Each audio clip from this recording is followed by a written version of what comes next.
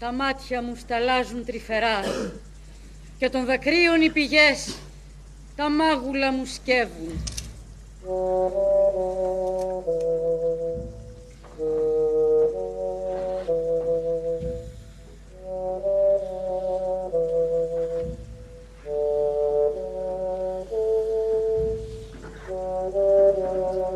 Ο Ζεύς, ανοιχτήρμον Θεός, το παν κυβερνάει αυτεξούσιος και δείχνει στους παλιούς θεούς περήφανος τη δίκοπη ματιά του.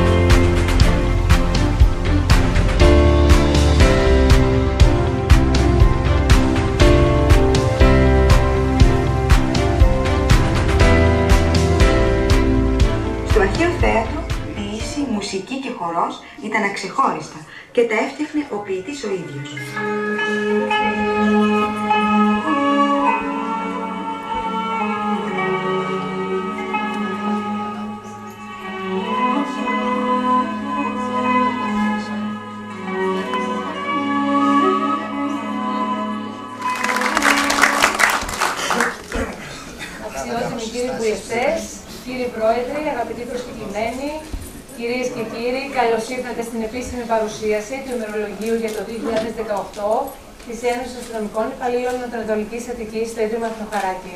Καλώς ήρθατε. Ένα καλέσθητο ημερολόγιο, θα έλεγα εγώ, ως ελάχιστο φόρο τιμής στον ελληνικό πολιτισμό.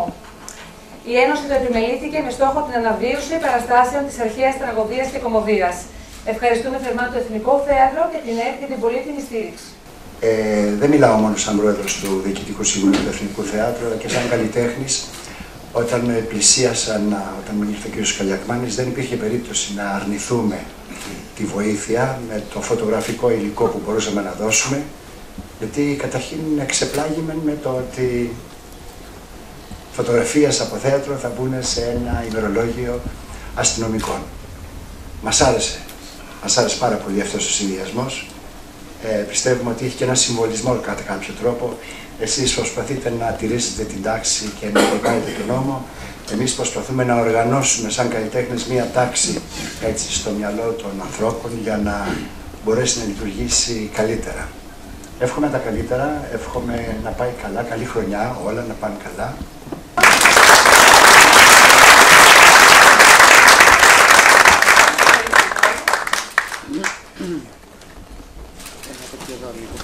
Εύχομαι πάντα, πάντα να αγαπάτε τον πολιτισμό γιατί και εμείς σας αγαπάμε πάρα πολύ Και μόνο όταν ενώσουμε τις δυνάμεις μας θα μπορέσουμε να βγούμε από αυτό το κικαίωνα που είμαστε. Να είστε καλά. Δεν τα βγάλαμε τα οικονομικά όπως καταλάβατε, ούτε με τις ταμείες. Πιο εδώ ελάτε. Ευχαριστούμε πάρα, πάρα πολύ. Ε, εσένα γιατί θέλω να σε φιλήσω; Είμαι και εγώ μουσικόφιλη, να ξέρετε. Υπάρχει άνθρωπος που δεν είναι μουσικόφιλος. Πραγματικά. Δεν πρέπει να υπάρχει άνθρωπος που δεν είναι μουσικόφιλο. Ε, Εάν υπάρχει να μου τον φέρετε και ξέρω ότι θα τον κάνω. Κύριε Πιλέσα, Περισσότερο. πίσω από ένα σπουδαίο άντρα κρύβεται και μια σπουδαία γυναίκα. Τι έχετε να πείτε γι' αυτό; Να πάω να Χριστό. Να πάτε. Ε, Θέλω να αναφέρω σχετικά κάποια έτσι λόγια για την κυρία Λουκίλα Καρέρ Πλέσα, η οποία εκτός από μια σπουδαία σύζυγο, φαντάζομαι κοντά σας, είναι και μια αξιόλογη σπουδαία δημοσιογράφος και στρατηγός με πολυετή προσφορά στον χώρο της δημοσιογραφίας, της κοινωνίας και του πολιτισμού. Νομίζω ότι θα ήταν υπέροχο να κάνουμε αυτή τη βράβευση που θέλω να απομνήμουμε στην κυρία Πλέσα για τη στήριξή σας στην Ένωση και πέρσι που ήσταν κοντά μας στο Μερολόγιο. αλλά Καλά και τις κάνεις, φέτος. καλά τις κάνεις. Ένα παιδί. Δεν χρειάζεται. Δεν χρειάζεται. Κύριε Καλιακμάνη, θα έρθετε κοντά μας. Κυρία Πλέσσα, είναι το λιγότερο που μπορούμε να κάνουμε για την προσφορά σας στον πολιτισμό και στην Ένωσή μας. Ένα τεράστιο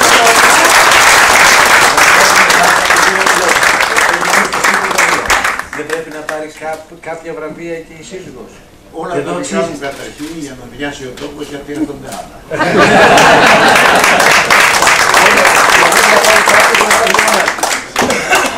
Λοιπόν, σε μια γυναίκα που στέκεται πίσω από αυτόν τον δυνατό άντρα και σπουδαίο άντρα που έκανε γνωστή τη χώρα μας, μου έλεγε ο Γιώργος ο Τσούκαλης, ε, πήγε στην, ε, στην Κούβα και του μιλήσαν για το μήνυ το πλέσα. Ένας κουβανός του μίλησε για το, για το μήνυ το πλέσα. Είναι σπουδαίο αυτό το πράγμα. Και Γιώργο, έτσι μόνος.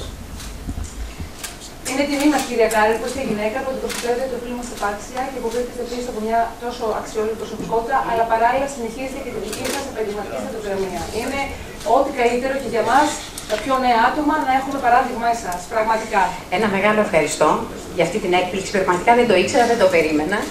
Ευχαριστώ, ευχαριστώ και συγχαρητήρια στην Ένωση Αστυνομικών Υπαλλήλων για αυτό το πρόσωπο που βγάζει. Το ότι πάντα είναι κοντά στο πολιτισμό. Πέρσι, που μου είπε ότι ήμουν κοντά σας, στηρίξατε την επιστροφή των μαγμα- μαγνητών του Παρθενώνα.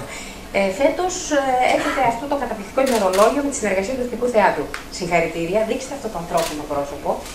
Όσο δε τη δική μου αυτή τη δυτική βράβευση έκπληξη, θέλω να ευχαριστήσω και να πω ότι δίπλα σε ένα τέτοιο άντρα, σε έναν φωτεινό φάρο, οφείλουμε όλες οι γυναίκες να είμαστε στη σκιά, αλλά να παίρνουμε και από το φως τους. Σας ευχαριστώ πολύ.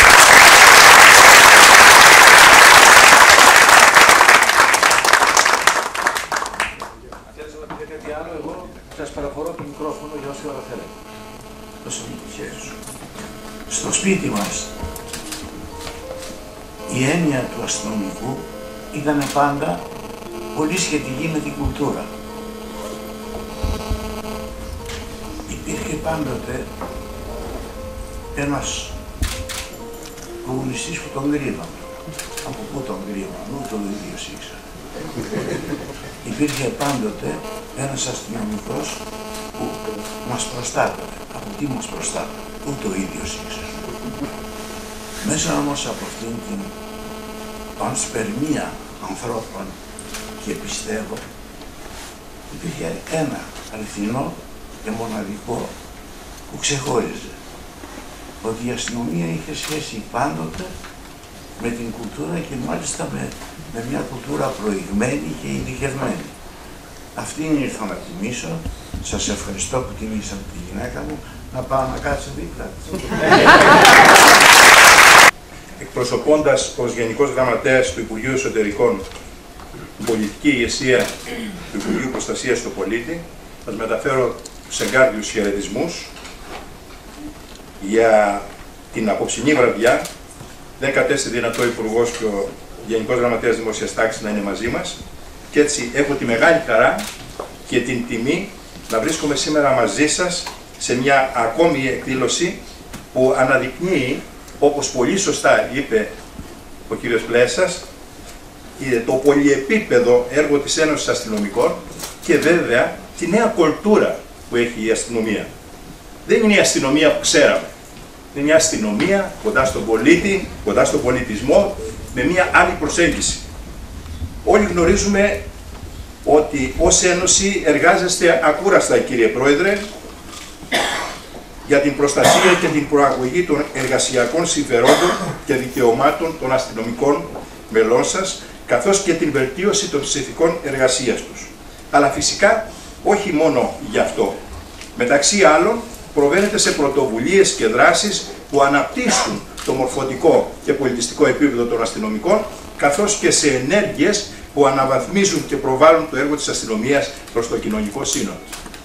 Δεν είναι τυχαίο, αξιότιμοι κύριοι, αξιότιμες κυρίες, ότι η αστυνομία σήμερα απολαμβάνει δημοτικότητας που υπερβαίνει το 70%.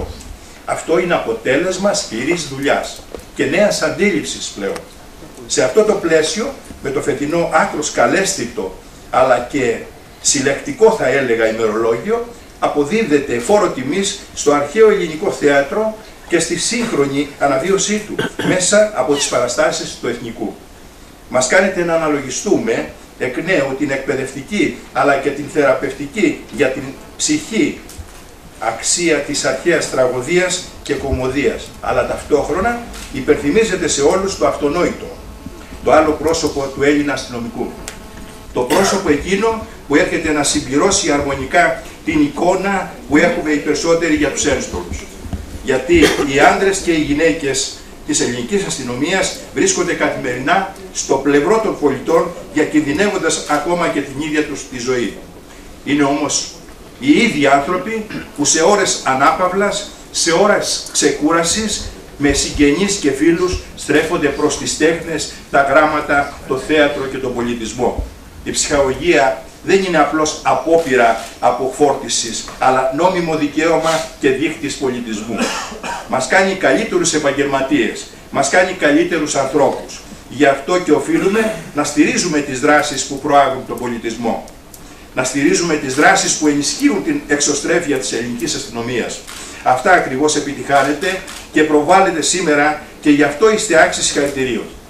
Θέλω ως εκπρόσωπος και ως Γενικός Γραμματέας του Υπουργείου να σας ευχαριστήσω γι' αυτό και προσωπικά, διότι όπως και να το κάνουμε προέρχομαι από εσάς.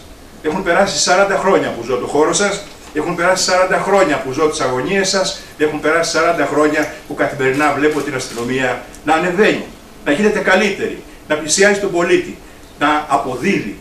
Και όλα αυτά είναι η δική σας προσπάθεια. Να είστε καλά και εύχομαι σε όλους τα καλύτερα.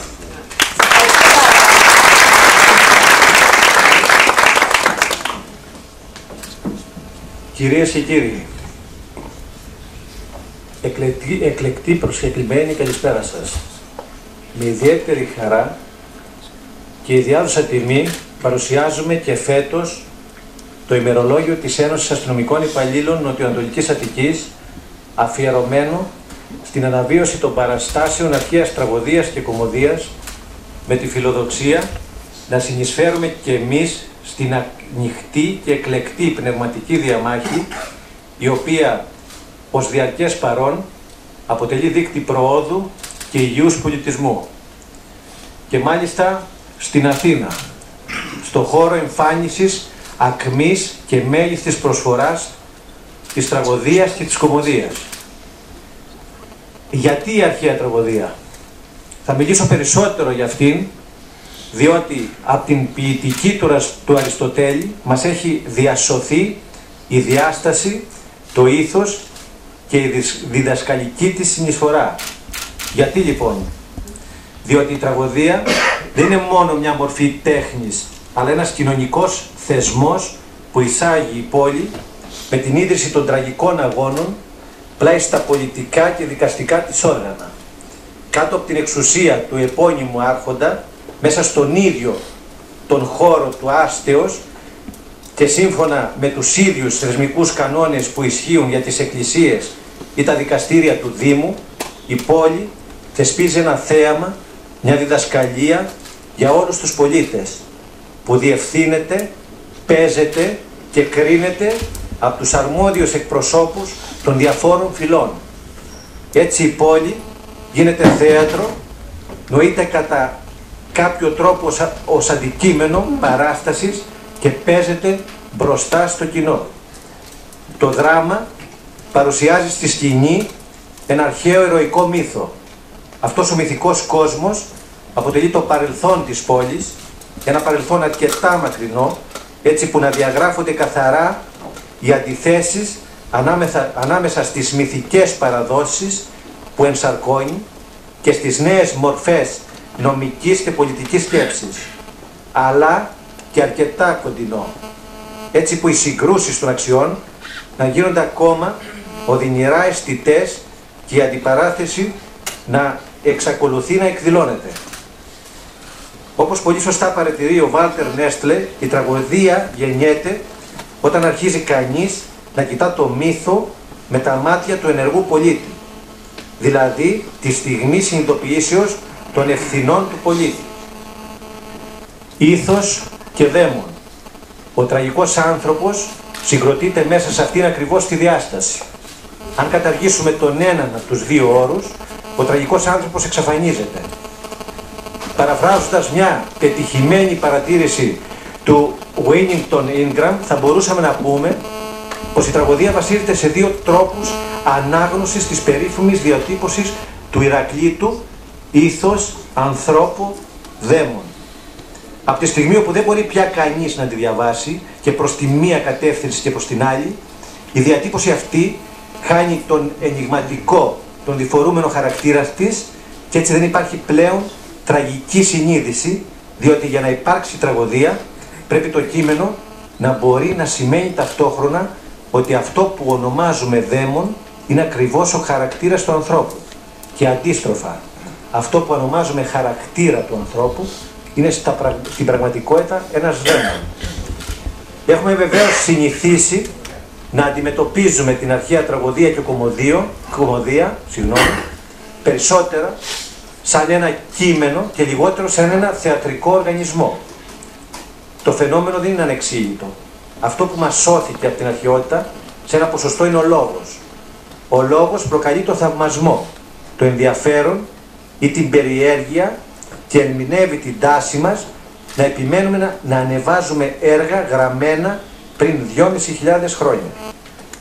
Επιμένουμε και ως παραγωγή και ως θεατές όπως το αποδεικνύει η θεατρική παράσταση που είναι μίμησης πράξεως σπουδαίας και τελείας, προσώπων δρόντων και ουδή απαγγελίας. Και όταν ο Αριστοτέλης λέγει δρόντων, εννοεί ανθρώπους πράττοντες, ανθρώπους που ενεργούν δηλαδή ρόλους. Ώστε η μίμηση είναι μια πράξη της πράξεως. Είναι μια πράξη που μιμείται την ζωική πράξη, την πράξη του μύθου. Το πιο δύσκολο είναι να καταλάβουμε ότι δεν παίζουν οι ηθοποιοί, παίζουν οι ρόλοι στην πράξη. Δηλαδή ο αναγνώστης την ώρα που διαβάζει τους ρόλους της τραγωδίας βλέπει να παίζουν μπροστά του ενώ στο έπος η απαγγελία του δίνει άλλη φύση και άλλη σκηνογραφούσα φαντασία. Και το σημαντικότερο είναι ότι το ήθος τους βγαίνει από την πράξη. Εφόσον μιμούνται πράττοντας και εφόσον η πράξη είναι δηλωτική του χαρακτήρα τους. Δηλαδή ο χαρακτήρας, και αυτό είναι λίγαν σημαντικό για τη μεγάλη αξία της αρχαίας τραγωδίας, δεν δηλώνεται αν είναι καλός ή κακός. Ο χαρακτήρας γίνεται μπροστά στα μάτια μας στη σχέση του την διαλλακτική με τα προβλήματα που έχει, τα οποία είναι ενεργούμενα προβλήματα. Ο τραγικός ήρωας είναι τραγικός, όχι για κανένα άλλο λόγο, αλλά διότι παίρνει μια απόφαση σφαλερή διαμαρτίαν τεινά. Την παίρνει όμως αυτόβουλα και την πληρώνει.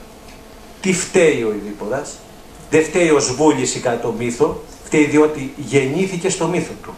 Στην τραγωδία όμως φταίει και ως βούληση, ζητάει να μάθει ποιος είναι. Αν δεν ζητούσε να μάθει ποιος είναι, δεν θα είχε αμαρτία. Αμαρτία βέβαια στο αρχαίο κόσμο σημαίνει σφάλμα. Δεν θα ήταν ο ειδήποδα τραγωδία, δεν θα ήταν σπουδαία πράξη αν δεν ζητούσε να διαπιστώσει την ταυτότητά του. Γι' αυτό και η τραγωδία δεν παρουσιάζει χαρακτήρες ή τύπους, αλλά καταστάσεις της ανθρώπινης ψυχής. Απεικονίζει το τραγικό ήθος, τις ροπές της ανθρώπινης ύπαρξης μέσα από την ύπαρξη του μύθου. Γι' αυτό και ακόμα συγκινεί και εντυπωσιάζει. Σε αυτή λοιπόν την προσπάθεια αναβίωσης της τραγικής συγκίνησης και του υγιούς θεατρικού εντυπωσιασμού είναι αφιερωμένο το φετινό μας ημερολόγιο. Μια οφειλόμενη αναγνώριση σαν ένα εγκάρδιο χειροκρότημα στους ανθρώπους που εργάστηκαν και εργάζονται για τη δική μας διδασκαλία και συγκίνηση, για το δικό μας ψυχικό καταρτισμό, για τη λυτρωτική μας κάθαρση. Ευχαριστώ πολύ. Εγώ δεν σας κρύβω ότι κάποτε με το φίλο μου τον Γιώργο του Τζεκούρα όταν ήταν συνδικαλιστής είχαμε μια συζήτηση στην κόκκινη κάρτα χρόνια που μη ρωτάτε πόσα λουκυλά είχαμε μια συζήτηση για το, για το συνδικαλισμό, για την αστυνομία και μου λέει Γιώργο αισθάνομαι λέει όσο καιρός σε ξέρω ότι νιώθεις ένα μέλος της οικογένειας της αστυνομίας.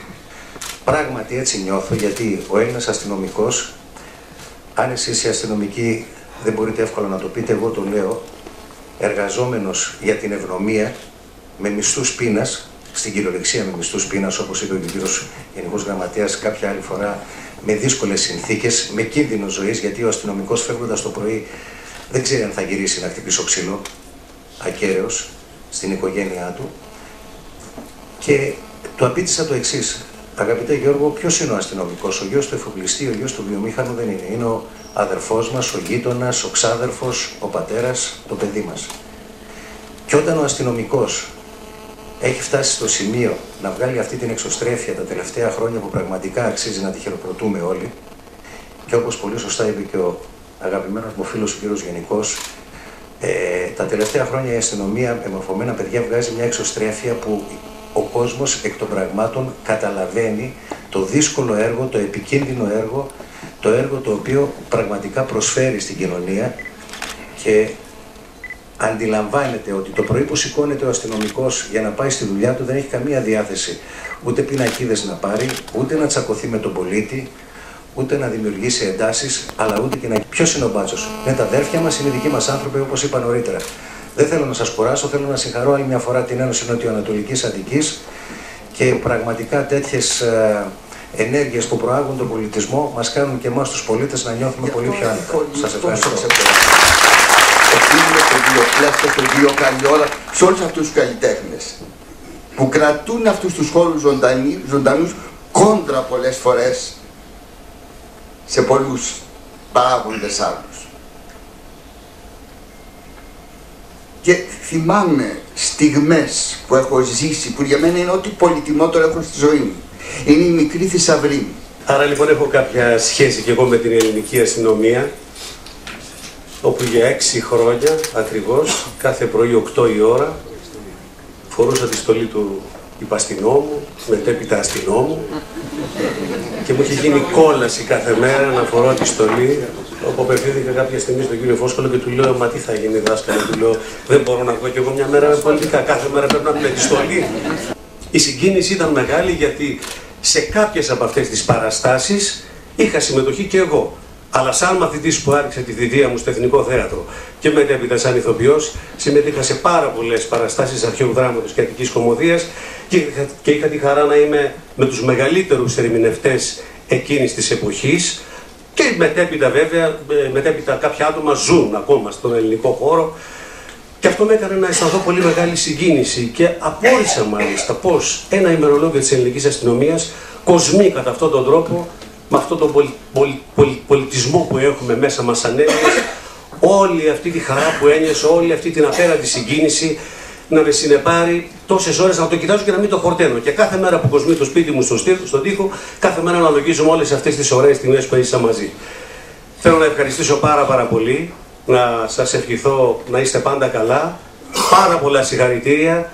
Είναι πολύ τιμητικό αυτό που κάνετε για τον ελληνικό πολιτισμό και εύχομαι υγεία σε εσάς, στις οικογένειές σας και να είστε πάντα καλά. Κάνει μια προσπάθεια, αλλά και το αρχηγείο της αστυνομίας με διάφορες εκδηλώσεις τις οποίες έχουμε κάνει. Ε, το, το λέω σαν μια επισήμανση την οποία τη θεωρώ απόλυτα αναγκαία. Όπως επίσης δεν μπορώ να μην πω για τον φίλο μου τον Γιώργο τον Καλιακμάνη ότι επειδή εγώ είμαι ένας άνθρωπος ο οποίος ασχολούμαι με το αστυνομικό ρεπορτάζ και για δεύτερη χρονιά ε, με καλεί να κάνω αυτή την παρουσίαση, δεν ξέρω αν θεωρεί ότι έκλεισε ο δικός μου τραγικός κύκλος στο αστυνομικό ρεπορτάζ και με παροτρύνεις να πάω κάπου άλλο. Κύριε Καλεγμάνη. Αλλά ίσα που λέω κατάλληλα. Λοιπόν, Γιατί προάγει τον πολιτισμό και εσύ. Λοιπόν. Με το δημοσιογραφικό ήθος. σε ευχαριστώ πάρα πολύ. Ε, πάμε όμως να δούμε λίγο τι είναι η αρχαία τραγωδία πριν περάσουμε στην... α, Και θα ήθελα να σταθώ λίγο και στη διαμάχη που προκάλεσε τότε μεταξύ των φιλοσόφων. Γιατί η αρχαία τραγωδία τι έκανε; Προσπάθησε να κάνει μια ακτινογραφία ανθρώπων, μια ανατομία ηθογραφίας και προσέξτε το σημαντικό ήταν ότι ο θεατής ε, γνώριζε την υπόθεση. Ο θεατής δεν ήταν αμέτωχος της ε, πλοκής. Απλά περίμενε να δει πόσο κάθε τραγουδός, πόσο κάθε καλλιτέχνης θα παρουσίαζε την, στη σκηνή τον κάθε έναν από τους πρωταγωνιστές προκειμένου το ίδιο το ακροατήριο να κρίνει με πόσο μεγάλη επιτυχία το έκανε και πόσο βαθιά συναισθηματική προσέγγιση είχε πάνω σε αυτό. Ήθελα να πω ότι είναι μαζί μας ο Δημήτρης ο Γεωργατζής. Ήταν ε, πρόεδρος στην ε, ΟΑΞΙΑ, στην Ένωση, ε, στην Πανελλήνια Ομοσπονδία Αξιωματικών. Ένας άνθρωπος ο οποίος δίδαξε συνδικαλιστικό ήθος και σοβαρότητα. Θέλω να τον χειροκροτήσουμε.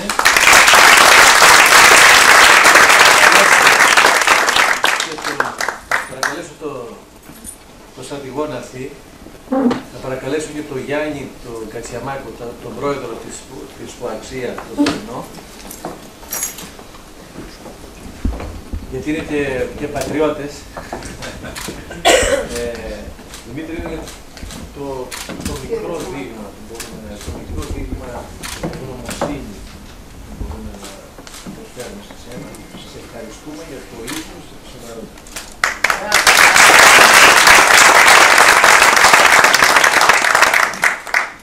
Καλησπέρα σε όλους.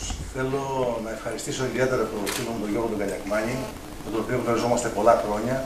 Να τον συγχαρώ για τις πρωτοβουλίες αυτές που παίρνει της ουσιαστικής εξωστρέφειας. Δεν είναι η μοναδική φορά, τα τελευταία χρόνια. Και επιτρέψτε μου λίγο να αγιάσω τα γένια μας. Χάρη στο συνδικαλισμό ξεκίνησε να έρχεται σε επαφή άμεση και ουσιαστική η αστυνομία με τον κόσμο. Ή- Περάσαμε ή υπήρξαν δύσκολα χρόνια, κάποιες νοοτροπίες, κάποιες πολιτικές, φτάσαμε κάποτε στην αρχή να κρυβόμαστε για να κάνουμε συνδικαλισμό. Αγαπητέ φίλε Γιώργο, τα ειλικρινή μου συγχαρητήρια. Θα ήθελα να πω έτσι δύο κουβέντες, αν μου το επιτρέπετε, γιατί καταλαβαίνω την κούραση. Ε, αγωνιστείτε. Όπως έλεγε ο, ο Μπέρτολ Μπρέχτ, όποιος αγωνίζεται μπορεί και να χάσει. Όποιος δεν αγωνίζεται έχει ήδη χάσει. Ή το απόφθεγμα αυτό που χρησιμοποιούμε όλοι μας κατά καιρούς με διάφορες εκφάνσεις. Ε, πιέστε τους κυβερνώντες. Τα τελευταία μνημονιακά χρόνια, δυστυχώς κάθε χρόνο και χειρότερα, δεν έχουμε τα αυτονόητα, σε- δεν έχετε εσύ, επιτρέψτε μου ότι δεν έχουμε, ε, σε υποδομές και σε προσωπικό. Θυμήστε τους, όπως λέγαμε και παλιότερα στις ε, εκδηλώσεις που κάναμε, ότι όποιος δεν χρησιμοποιεί τα μάτια του για να δει, θα τα χρειαστεί σίγουρα για να κλάψει. Με το χέρι στην καρδιά και μάλλον με τα μάτια της καρδιάς μας όλοι, θα ήθελα να αναλογιστούμε ότι έρχεται το 2021. Έρχεται προς διαχείριση από τα παιδιά μας και από εμά. Τι παραδίδουμε προς διαχείριση; Όταν θα γιορτάζουμε τότε τα 200 χρόνια από τον εθνικό απελευθερωτικό μας αγώνα. Τα λέω αυτά όσο συμβολικά και όσο και αν ακούγονται σε αυτές τις ώρες. Γιατί, γιατί αστυνομικός, όπως είπαν οι εκλεκτοί καλεσμένοι και οι ομιλητές, κατά τη δική μας την ταπεινή άποψη σημαίνει ζωή, καθήκον, θυσία και διαρκής κοινωνική προσφορά. Και αυτό που κάνετε είναι ουσιαστική κοινωνική προσφορά. Συνεχίστε να το κάνετε, δώστε το στίγμα. Καλό Πάσχα σε όλους και όλες και τις οικογένειες.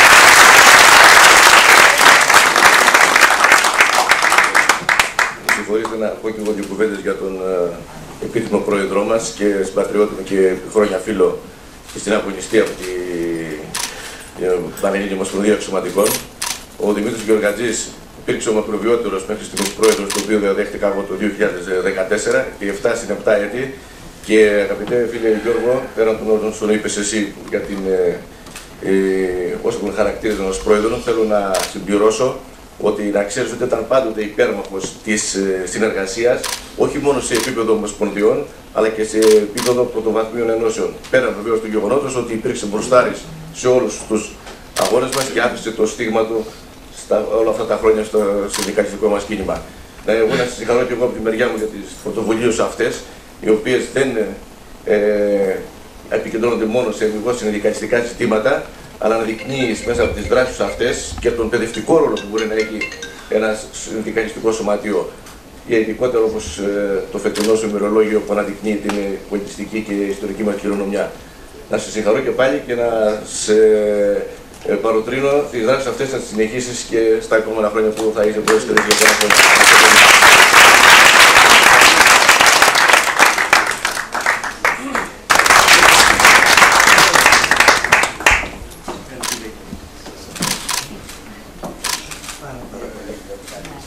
χρόνια. Καλησπέρα. Ε, ευχαριστώ πάρα πάρα πολύ. Φυσικά η διάκριση αυτή δεν ε, αφορά εμένα, αφορά πρωτίστως το αρχείο της ΕΡΤ, αλλά και όλους όσοι δούλεψαν για την ε, παραγωγή των βίντεο. Και τα πλάνα δικά μου. Μάγος. Μόνο που το γύρισε σκηνοθέτης πρέπει να είναι από εκεί.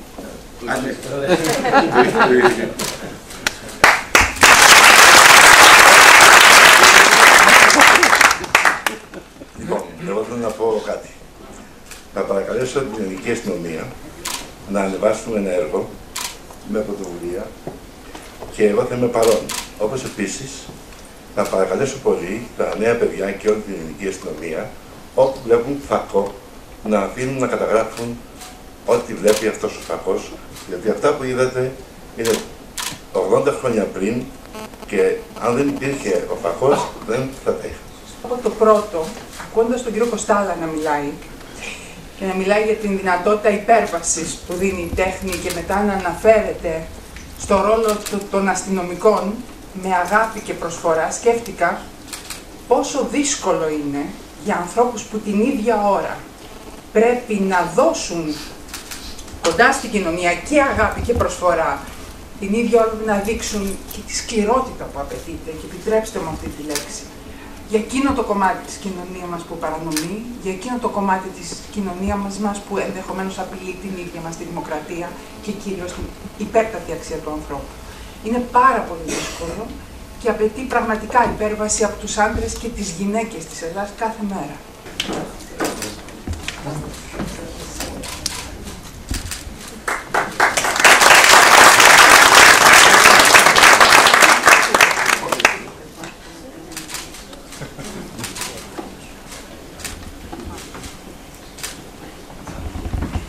Ένα μεγάλο ευχαριστώ και από μένα και από τον Όβλιο το δικό μας.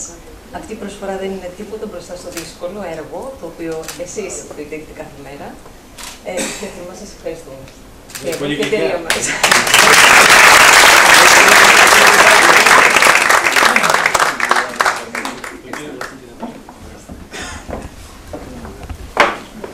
Σαφώς να μην αποτελέσω εξαίρεση εγώ, να πω και εγώ δύο λόγια. Είναι μεγάλη τιμή, αλλά και χαρά να μετέχω σε μια μεγάλη κοινωνική πράξη, όπως είναι αυτή της Μπράβας. Για να παραδείγω. Τα τραπέζια δαστιλιακά πόρτες ως αργά την Κυριακή τρία καφέ στην πλατεία